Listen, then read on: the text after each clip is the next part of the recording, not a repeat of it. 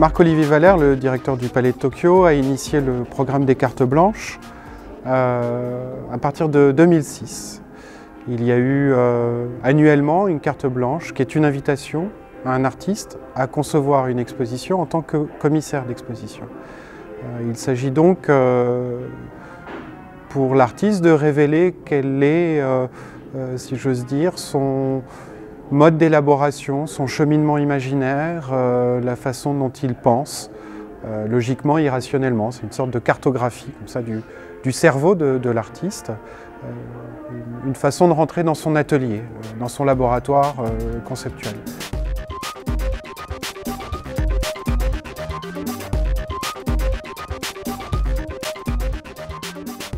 John Armleder travaille depuis euh, à peu près euh, la fin des années 60 et il est né artistiquement avec le mouvement Fluxus, un mouvement qui s'est intéressé au dépassement de la simple production de l'œuvre d'art et qui a exploré la possibilité de produire une œuvre qui soit sous forme d'une partition, comme une partition musicale.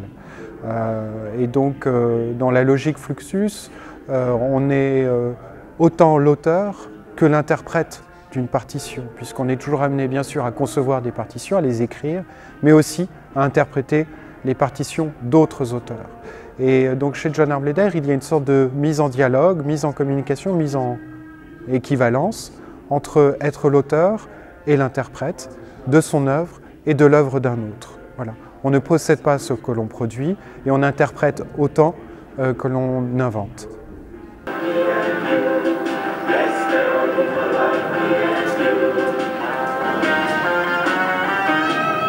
His buddies and his partners are making a plan, expanding all horizons wherever they can. Boy, the guys are packing all in their way. They're looking to the future. And people will say, maybe I'll go for it. Yeah, go for it. Parfois, on on a le sentiment de visiter une exposition un peu trop rapidement.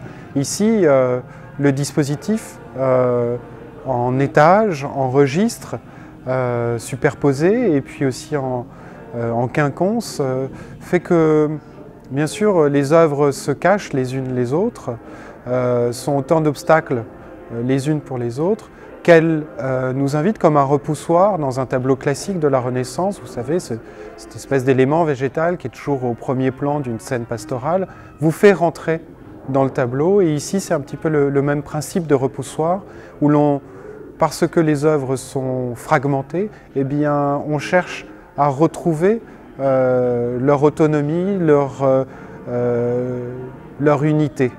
on voit qu'il y a des familles très différentes. Il y a l'avant-garde californienne des années 60 avec Bruce Conner, Wallace Berman, Guy de Cointet.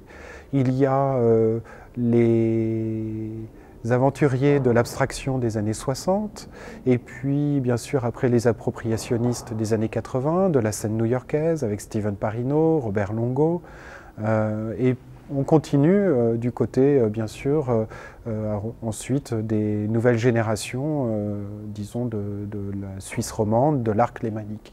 Et donc on voit comment John Armleder, des années 60 jusqu'à aujourd'hui, n'a eu de cesse de regarder les recherches artistiques de, de, ses contemporains et des nouvelles générations pour créer aussi des liens inédits entre ces mouvements artistiques euh, qui, au premier abord, pouvaient sembler si différents.